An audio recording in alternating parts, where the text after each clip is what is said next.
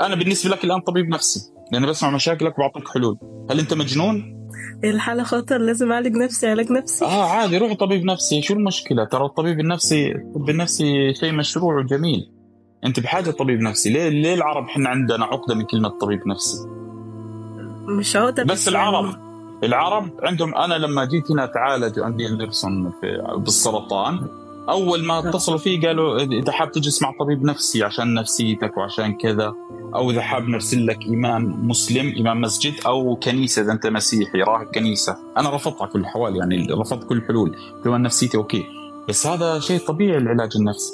إحنا محتاجين لأطباء نفسيين. أنت محتاج لطبيب نفسي. مش عيب ترى تجلس مع طبيب نفسي وتتكلمي معاه مش عيب. تخصص كامل هذا. بدرس أربع سنين عشان يسمع مشاكلك. إن شاء الله. شكرا لك.